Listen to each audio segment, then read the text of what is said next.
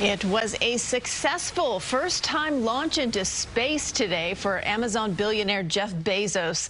After a short trip on board his Blue Origin rocket, Bezos and his small crew landed safely on the desert floor in West Texas. Now, Bezos called his launch into space the best day ever. The world's wealthiest man says the flight fulfilled a boyhood dream to fly into space on his own rocket.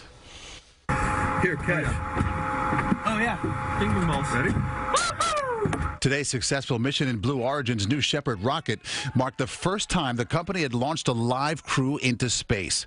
Along with his younger brother Mark, Jeff Bezos' crew included 18-year-old Oliver Daemen, a Dutch student who is now the youngest to fly in space, and the oldest person in space, 82-year-old aviation pioneer Wally Funk.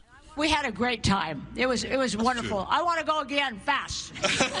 this high-tech joyride, more than 65 miles above the Earth, sets the stage for the start of Blue Origin's commercial passenger service this year.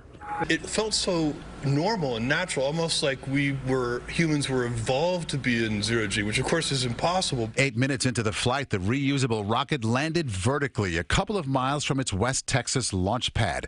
Two minutes later, the crew capsule came down, gracefully supported by three parachutes.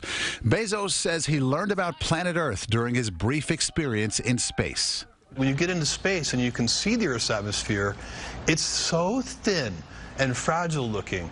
So we do have to take care of this planet. Bezos intends to use his Amazon riches to build a new empire in space. He's battling for suborbital tourists with Virgin Galactic and Richard Branson, who reached space in a rocket-powered plane nine days ago, and competing with SpaceX and Elon Musk for orbital business, satellites, the moon, and beyond we need to build a road to space. Build, I mean, build infrastructure, reusable space vehicles, and so on, so that the next generations can build the future.